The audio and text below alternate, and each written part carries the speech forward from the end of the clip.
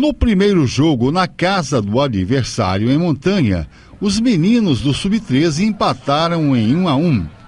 O jogo era vital para as duas equipes continuarem respirando na competição.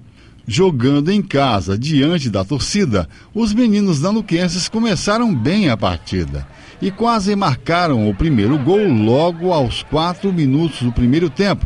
Mas o goleiro do Montanha fez a defesa. Com um esquema mais consistente de jogo, o time de Montanha exercia muita pressão contra a equipe nanuquense e até teve chances de marcar, mas não aproveitava as oportunidades. Até que aos 12 minutos, o zagueiro do Montanha colocou a mão na bola e o juiz marcou pênalti. Na cobrança, o camisa 10 João Vitor isolou a bola, perdendo a chance de abrir o placar.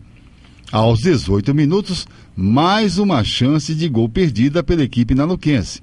Primeiro pela boa defesa do goleiro montanhense, depois pela finalização errada do ataque nanuquense.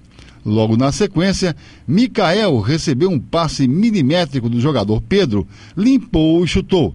A bola passou raspando o travessão.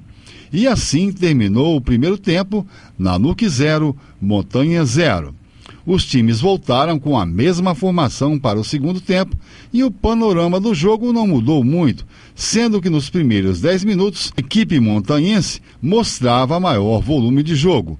O time nanuquense se reequilibrou e a partida continuou igual o resto do tempo para os dois times que terminaram empatados em 0 a 0 tinha que ganhar, né? Mas empate também foi bom, ganhamos um ponto, um seis aí.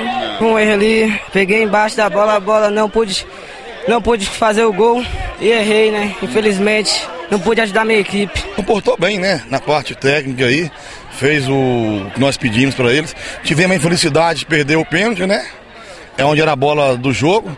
Mas é isso aí, levanta a cabeça, eles estão no caminho certo, eles estão invictos ainda, são líder da, da, da, chave deles. Então, de parabéns, né,